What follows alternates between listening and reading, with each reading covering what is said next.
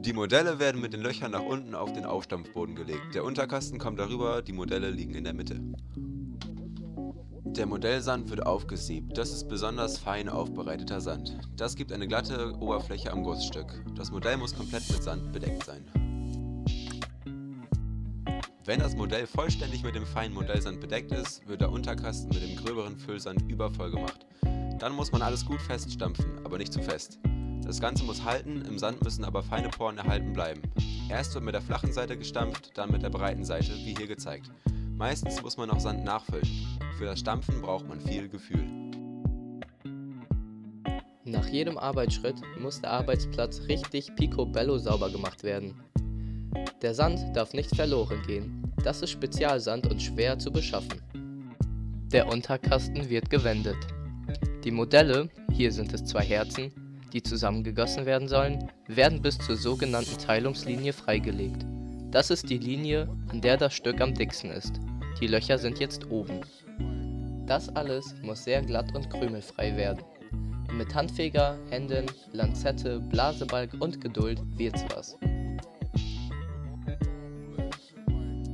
Der Oberkasten wird aufgesetzt und das Innere wird mit Talkumpulver übergepudert. Das geschieht, damit sich Ober- und Unterkasten sauber trennen lassen.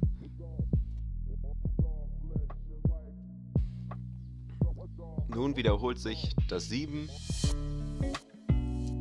das Auffüllen, das Stampfen,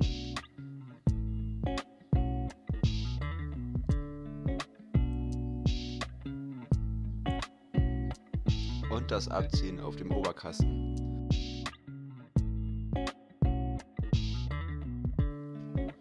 Der Kasten wird vorsichtig geöffnet.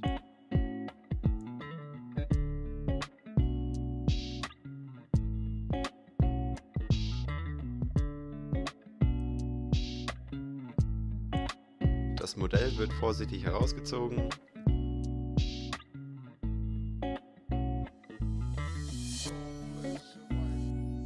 Der Eingusskanal wird gestochen.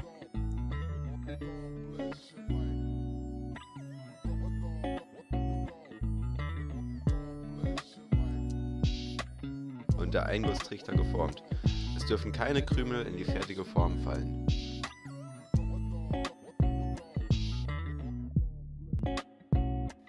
Anschließend wird der Oberkasten mit den Bolzen wieder auf den Unterkasten gelegt.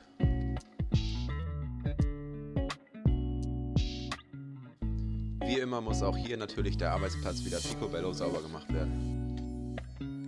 Der Schmelztiegel steht schon im Schmelzofen und wird mit Aluminiumteilen beschickt.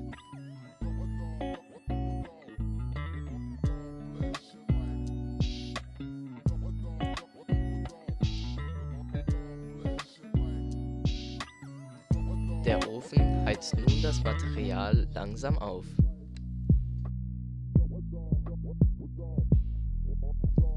Auf dem Ofendeckel wird der Nachschub getrocknet und vorgeheizt.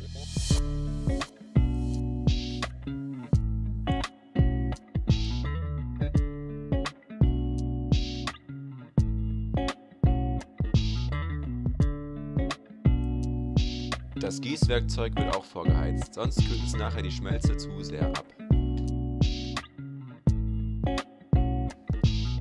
Schlacke schwimmt oben und wird mit dem sogenannten Kretzer abgezogen. Der Tiegel glüht orange. Bei Zimmertemperatur ist der grau. Der Gießvorgang erfordert von allen höchste Konzentration, damit nichts schief geht. Das flüssige Metall ist verdammt heiß. Alle tragen eine hohe Verantwortung für das unfallfreie Gelingen.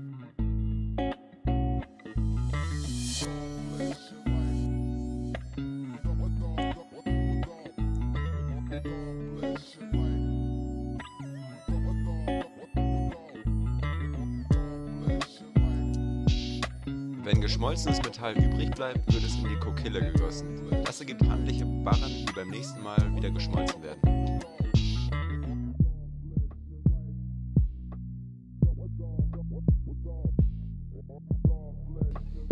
Das Metall erstarrt schnell, ist aber noch lange sehr heiß. Der Kasten wird entleert.